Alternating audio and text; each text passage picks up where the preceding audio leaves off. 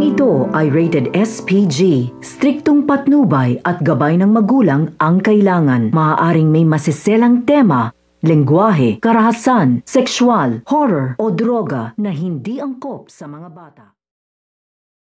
Inakala ng Black Ops na nagtagumpay nga sila dito nga sa kanilang plano na patahimikin nga dito ito nga si Captain Cruz. Kaya naman ay ginawan nga nila ito ng masama at inakala nga nila na nagtagumpay nga sila dito. Hanggang sa isang araw ay meron nga tumawag dito nga kay Albert at kinagulat nga dito ng husto nito nga ni Albert ang tumatawag nga sa kanya o ang kausap nga niya dito dahil hindi nga niya akalain na makakausap pa nga niya dito ito nga si Captain Cruz.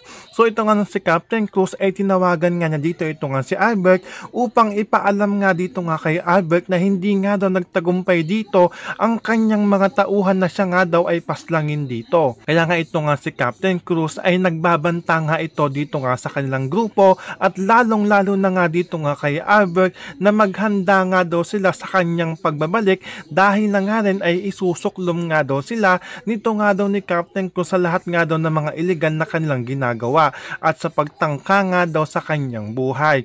So pakakaabangan nga natin dito ang paghihiganti nito nga ni Captain Cruz dito nga sa Black Ops. Yan ang ating pakakatutukan at pakakaabangan dito nga lang sa ang probinsyano.